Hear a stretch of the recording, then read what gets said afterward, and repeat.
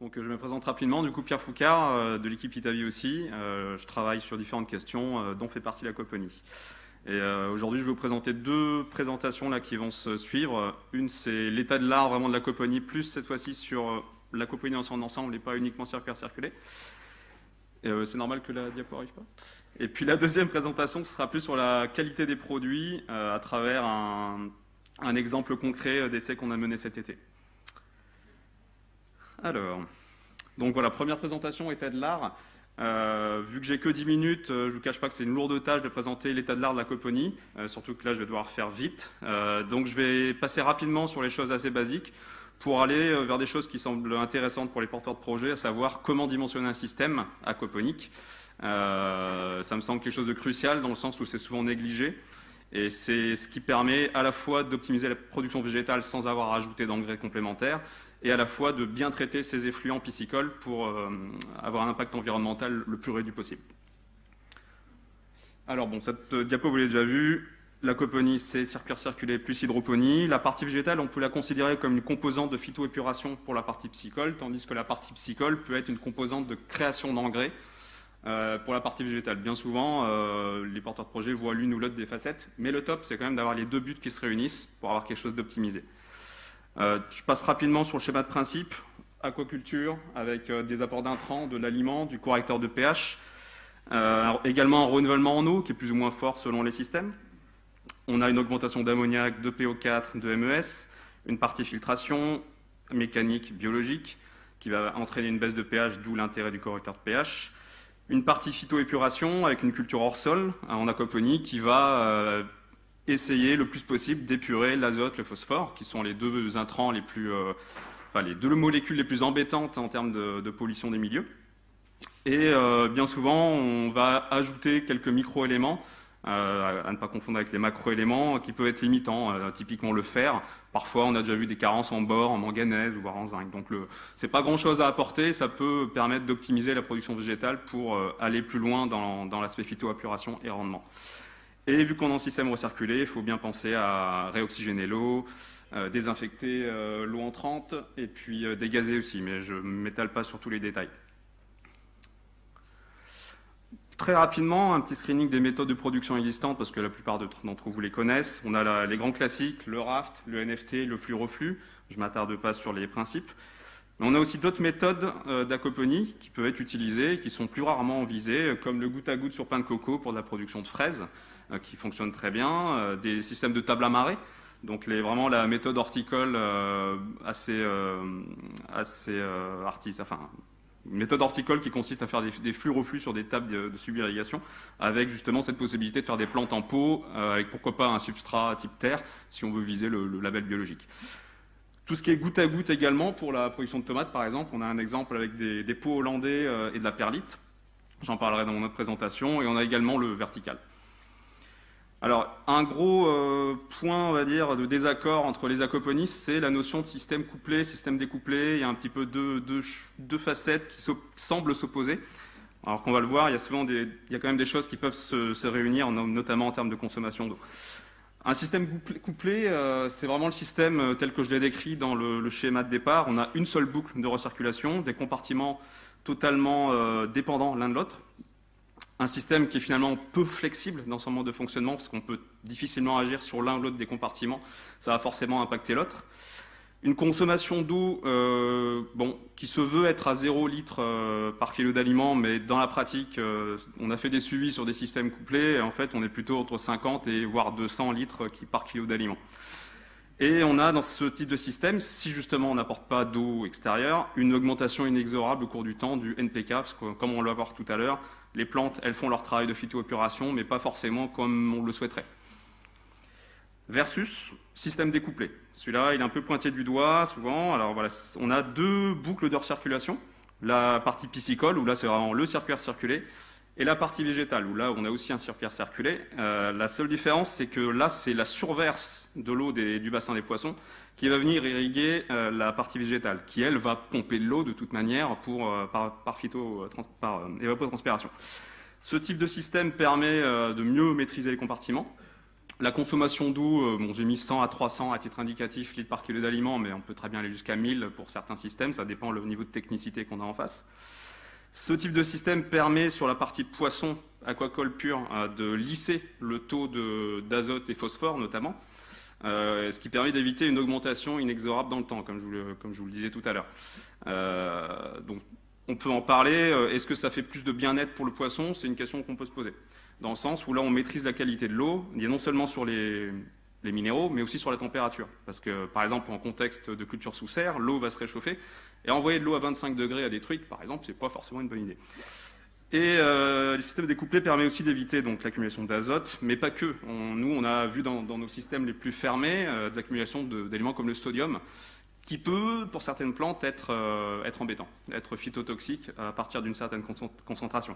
Dans les faits, il y a la théorie et la pratique, et dans la pratique, on n'a jamais eu de toxicité sur nos plantes, mais voilà, qui sait, à partir d'un certain seuil, ce que ça peut donner.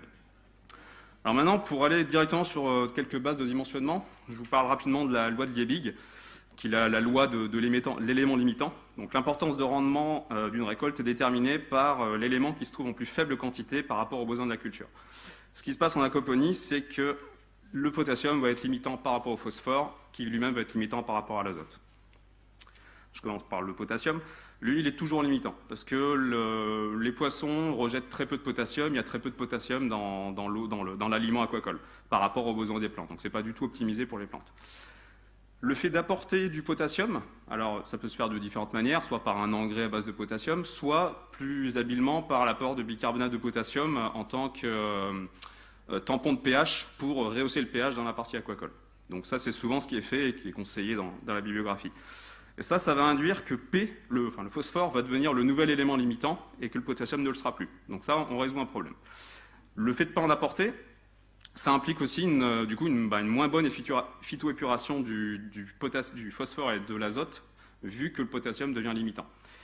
Et donc une accumulation au cours du temps d'azote-phosphore qui est encore plus forte, et des carences nutritionnelles sur le végétal. Donc c'est fortement recommandé d'en apporter. Ensuite, le phosphore. Alors lui, il est souvent, j'ai pas envie de dire tout le temps, parce que c'est faux, souvent limitant par rapport à l'azote. Le fait de ne pas en apporter, euh, c'est quand même une bonne idée, parce que c'est un petit peu le concept de la coponie, c'est de ne pas apporter d'azote et de phosphore, euh, parce que c'est une ressource limitée. Ne pas en apporter, ça implique aussi euh, bah, une moins bonne phytoépuration de l'azote, et donc une accumulation de l'azote au cours du temps. Ça, c'est une problématique surtout en système couplé, où on va pouvoir, si vraiment on ferme extrêmement le système, avoir des, augmentations du taux de nitrate bah, on peut aller jusqu'à l'infini. Euh, en, théorie, si on, dans les faits, c'est impossible parce qu'on est tout le temps obligé d'apporter de l'eau parce que les plantes en consomment. Euh, une petite piste d'étude, je ne m'attarde pas sur les résultats, mais c'est des choses intéressantes. Euh, la minéralisation des, boues en anaérobie par bioacidification avec du sucre euh, peut permettre de relarguer du phosphore sous forme dissoute euh, depuis les, à partir des, bouts piscicoles. Donc on a fait quelques tests cet été avec des, résultats assez intéressants où on peut, comme voir sur le graphique, des multiplications par 3 ou 4 du taux de phosphore dans, dans les lixivias des bouts. Donc pas la partie organique, mais juste la fraction liquide qu'on peut récupérer. Donc il y a des pistes d'études pour euh, rehausser le ratio, enfin rapporter du phosphore pour avoir un ratio N sur P qui soit un petit peu meilleur. Et maintenant le N, L'azote, la plupart du temps, il est en excès. Voilà. Euh, lui, il tend à s'accumuler, tout comme ça le fait en circuit circulé. Donc en circuit circulé, on a des, solutions pour ça, c'est la dénitrification. En aquaponie, on ne fait pas forcément ça, on veut traiter par les plantes. Euh, la notion de... Alors, attends, Donc voilà, il y a encore une fois l'intérêt du système découplé par rapport au système couplé. Mais par contre, voilà, si on fait le bilan de tout ça, on peut se dire que si on arrive à épurer dans un système bien dimensionné plus de 90% du phosphore, quasiment tout le potassium, et qu'on arrive à épurer seulement 50 à 70-80% euh, de l'azote, en fait, c'est déjà extrêmement satisfaisant. On n'a pas, enfin, aller vers le 100%, ça reste un vrai défi technique. Euh, si on arrive à avoir des rejets épurés à ces taux-là, c'est déjà extrêmement bien. Si vous y arrivez, chapeau. Donc ça demande un dimensionnement préalable euh, assez précis. Petite remarque, le taux, ratio N sur P, c'est pour ça que je disais que ce n'était pas tout le temps limitant le P on peut euh, rééquilibrer la chose si on cultive, enfin, si on élève des, poissons euh, qui ont besoin de moins de protéines, par exemple le tilapia, qui n'est pas autorisé en France, euh, qui a besoin d'un taux de protéines plus faible que la truite. Ces rejets, en théorie, vont être beaucoup plus équilibrés en termes de N sur P. Alors maintenant, euh, bon, alors une petite donnée de la littérature pour le dimensionnement, c'est le, ratio quantité d'aliments sur surface cultivable. Donc on a un ratio existant, 60 à 100 grammes d'aliments par mètre carré par jour, euh, publication de 2006. Ça vaut ce que ça vaut, ça peut permettre de commencer sur quelque chose, mais euh, dans les faits, quand on s'y intéresse, on voit qu'on peut encore plus optimiser les choses. Il y a différentes variables déjà, on ne peut pas juste annoncer un ratio et dire que c'est la vérité, c'est compliqué. il y a des variables physico-chimiques, quel eau de renouvellement, quelle composition, quel taux d'ouverture du système, quel est le pH de l'eau aussi, parce que selon le pH, les nutriments ne seront pas autant assimilables. Des variables zootechniques, selon l'espèce de poisson, on n'aura pas les mêmes rejets. Euh, selon le taux de protéines, le taux de phosphore dans l'aliment, on n'aura pas les mêmes rejets. Selon le stade de croissance non plus, selon euh, les performances du poisson en termes de transformation de l'aliment non plus. Donc c'est quand même au cas par cas. Et en termes de variables phytotechniques, le végétal, la variété végétale, on va le voir après, euh, impacte énormément le, taux de phytoépuration qu'on peut avoir. C'est très différent entre une salade et, euh, je sais pas, un, poireau. Quoi. Et euh, elles n'ont pas le même potentiel phytoépuratoire. Selon la densité de culture qui est appliquée aussi, bon, on va chercher à optimiser et faire la plus grosse densité possible, mais selon la densité, ça ne va pas être la même chose. Selon la phase de croissance aussi, est-ce qu'on est dans végétatif ou est-ce qu'on est en floraison ou fructification, voilà. Et selon le climat aussi, ça va impacter ce ratio. Alors sur un petit cas d'étude, voilà, élevage de truites avec plusieurs stades de croissance qui cohabitent, un taux de protéines moyen de 40-42%, un taux de phosphore moyen de 1%, un IC moyen de 0,9 et des plantations en période estivale. On commence à se rapprocher de quelque chose d'un peu précis. On peut, on a, vu d'après nos, modélisations qu'on pouvait aller jusqu'à, euh, enfin, descendre à 15 grammes d'aliments par mètre carré par jour s'il y a complément en cas en potassium. S'il n'y en a pas, on est plutôt autour de 80. Euh, sachant que là, c'est des ratios moyens, et qu'en vrai, ça veut dire qu'il y a un minimum, que c'est un maximum, un écart type, et en vrai, euh, il y a des rapports de 1 à 5 sur ces valeurs. Bon, là, je ne m'attarde pas sur chacun des graphiques, c'est pour montrer qu'on a fait un screening un peu de plein de végétaux, une vingtaine, pour euh, mesurer un peu la quantité d'aliments par mètre carré par jour euh, qui, est nécessaire pour faire pousser ces plantes, selon à chaque fois l'élément considéré sur cette base d'éléments limitants. Euh, donc on a une variabilité déjà selon l'espèce végétale et une variabilité selon le stade de croissance. Par exemple, on a la tomate. La partie sur la gauche, c'est euh, phase végétative. En phase de fructification, on a un boom de consommation de, potassium.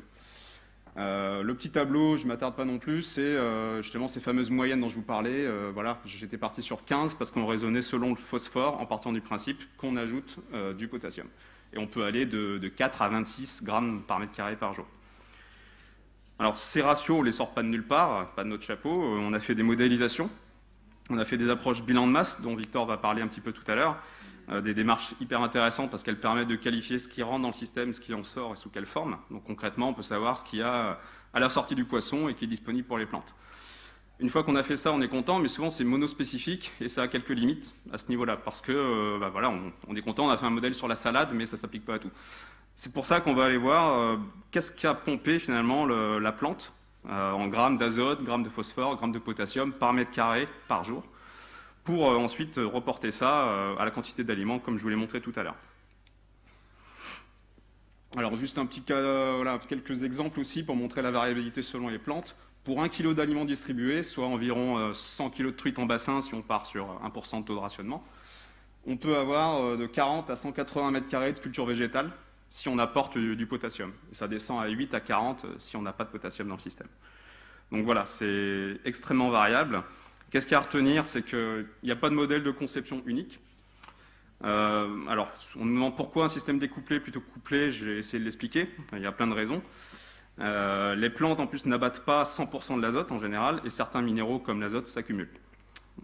et un système découpé permet aussi d'adapter la solution nutritive sans impacter le compartiment piscicole. Typiquement, j'apporte des microéléments, j'apporte du potassium, et eh ben ça, ça va pas aller dans, ça va pas aller dans, enfin surtout pour les microéléments, dans, la partie poisson. Et euh, on n'a pas les données aujourd'hui, mais est-ce que ça impacte le bien-être des poissons? C'est une question qu'on peut se poser, d'avoir un système couplé. Euh, en termes de phytoapuration, l'apport de potassium, ça permet d'améliorer grandement les performances environnementales et économiques de l'installation, puisqu'on peut être à x5 en rendement et x5 en abattement azote et phosphore. Donc on est toujours gagnant en apporté. Et euh, dimensionnement d'un système aquaponique, euh, voilà, j'ai repris un ratio très estimatif. Pour 100 kg de poisson, on peut faire 40 à 200 mètres carrés de culture végétale quand on a un système optimisé et selon le végétal qu'on a mis en face. Donc il n'y a pas de recette magique. C'est complexe, c'est multifactoriel et ça nécessite de modéliser les systèmes au cas par cas. Voilà. Merci pour votre écoute.